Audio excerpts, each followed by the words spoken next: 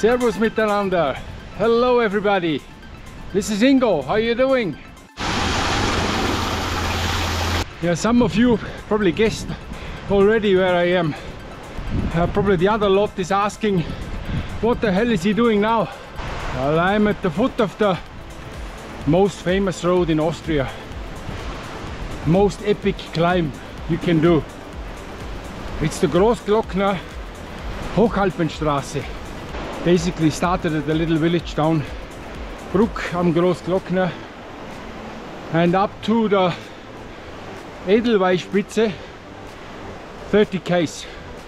Elevation gain a whopping 1800 meters. This is my third time coming up here but this time I'm gonna make a video. So I'm gonna bring this route straight into your living room well I'm doing the first stretch up to Ferleiten which is where the toll station is it's 14 kilometers and uh, sections pretty flat and some ramps with up to 9%. A lovely start of the route through the forest here. Amazing. Temperature currently 17 degrees, so not too bad. Look at that. Here you can see obviously Ferleiten is ahead where they charge you this toll toll station and yeah it's pretty dear. But uh, you see the money is uh, wisely spent.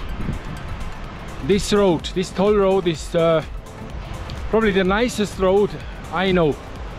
It's smooth as uh, as we say baby's ass it's unbelievable beautiful so not just paying the staff properly really putting money back in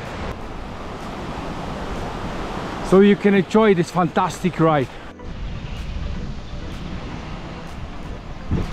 And for those who never heard about this area, the Großglockner is the highest mountain in Austria, 3,800 and something.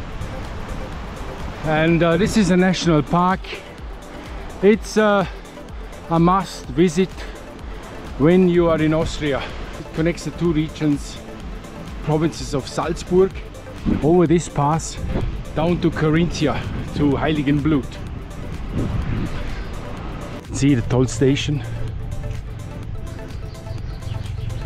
So obviously with the bike you don't pay.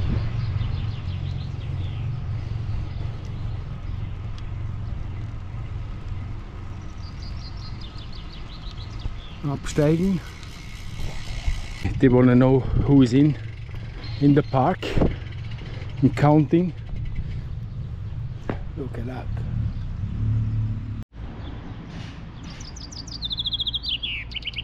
The bird is happy. You can have a rest here, have a little lunch, picnic. Nobody's gonna nick that table, that's for sure.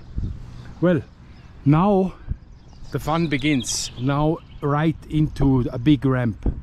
Uh, we have now 16 kilometers and uh, climbing uh, 1400 meters. The Großglockner on a bike is not for the faint-hearted. It's a tough climb. You're gonna see it now for yourself.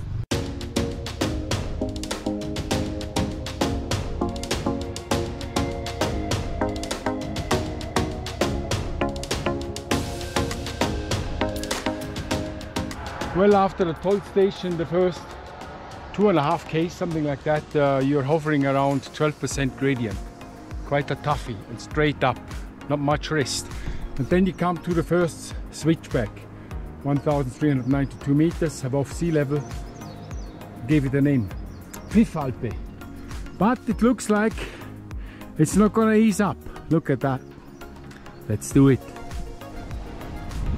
If you got the right gearing, I've got uh, a 1136 so not too much of a problem. Just make sure you have the right gears available when coming up here. I just love climbing. These big climbs nothing more satisfying when you know you have to get up to two and a half thousand and you're on 1450 and you can do the countdown meter by meter. Switchback number two. Look how well maintained everything is. It's unbelievable. I took up my uncle one day and he always said the best iconic climb in the world is in on Mallorca, the Sa Calobra. Beautiful, uh, but nowhere near as tough as this one. Yeah, he made it to the top and he absolutely loved it. Yeah, 1924, a couple of Austrians came up with the idea to build this road. But uh, everybody was laughing at them. Because at those days not many cars around. Road system not too good. So it was declined at that moment. But after the money crash 1928 29 uh, the Austrian government decided to that was 1930 to create jobs to fight unemployment. And they gave this road work green light. Uh, two and a half thousand people were employed.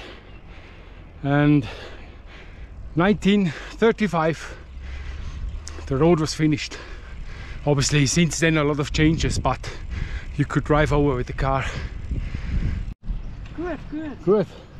Besser als erwartet. Das erste Mal? Nein. Ja, ja. Nein, nein. Und ja, ich muss aber so viele Fotos machen. Ja, unbedingt. Super. First time for her. The big bags on. See the cows down there. Yeah, this is the Hohe Tauern mountain range. Yeah, the weather turned out to be better than uh, expected. The weatherman predicted some rain, maybe later. Check out these cows. What a life they have. Stress free. They're up all summer here. Amazing. That's how it should be. Yeah, this you see this tree? This is the larch. Grows up to 2500 meter. It's the only one you see here. It's the only conifer which loses its leaves, needles in uh, winter. Every day you learn something new. Yeah, this pass is closed end of October usually until end of May, something like that. There are meters and meters of snow. I climbed a thousand meters already. You can see you're gaining proper altitude here. That's where I'm coming, right around the corner, the valley. These mountains here, there are most of them over 3000 meters high. That's glacier all year round. Unfortunately, they are disappearing as well. So if you plan to come up here, do it sooner rather than later. Caution, marmots. Be careful, they bite. Yeah, there are several races up here. Actually, June is usually always the Großglockner König, which is like a sportif. Anybody can participate. Also, the pros come up here. Tour of Austria and the Giro d'Italia.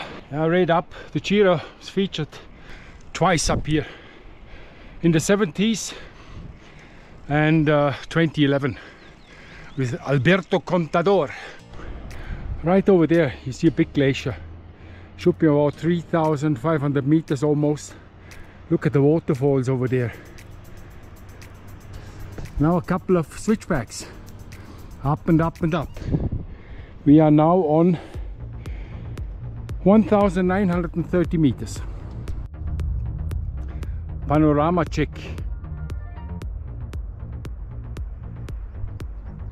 Yeah, this road, just to give you an idea, this is all around 12%. So uh, quite challenging. It's uh, the temperature is nice. If you have a hot day here, over 25, you'll suffer.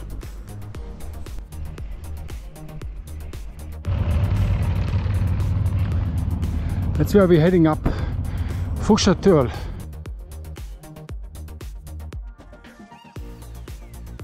We made it folks. Up on the Großglockner Fuschertörl. Yeah.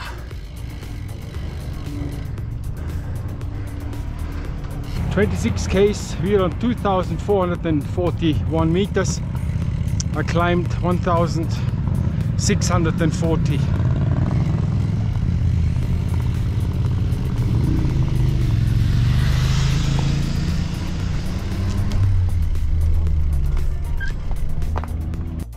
Guys, here you see the mountain range. This is the Großglockner, 3,798 meters. And look at that. You can see it over there. It's very unusual. Uh, the last two times I've been up here, they were covered in clouds. Look at that, highest mountain of Austria. Look at the glaciers. Unbelievable. Magnificent.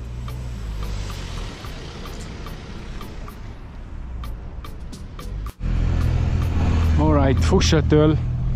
But uh, we're gonna collect a couple of bonus points. We're gonna go up to the. It's another, I think, 150 meters elevation. Pretty steep. Nothing under, yeah, I think it's about 12-13%. Let's go right to the top. Well, we made it to the Edelweißspitze. Nasty little ramp here.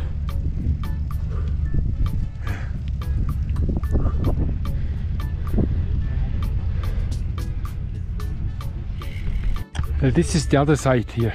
You see the road from the Fuschertörl goes down, then a tunnel there, a tunnel there, and then on the other side down to Kaiser Franz Josef Glacier and down to Carinthia, to Heiligenblut. It's a long way down. It's a viewpoint here, 2,571 meters.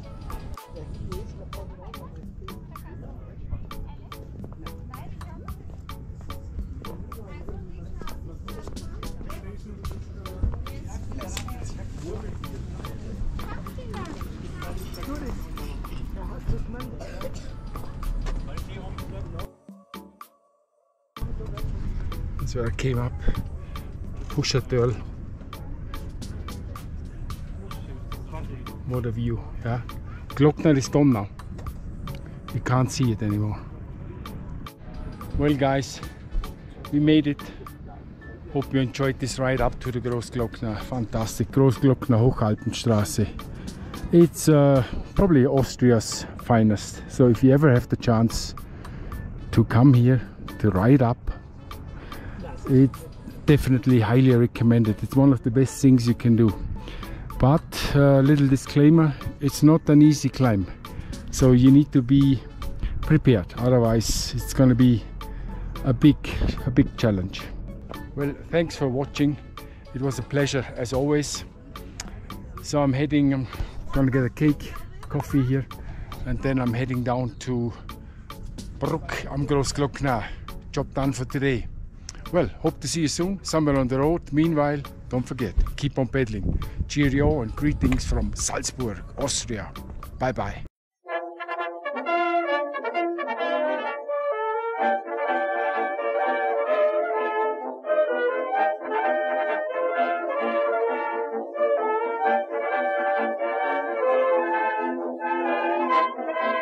Just go back in time, it's choking it down.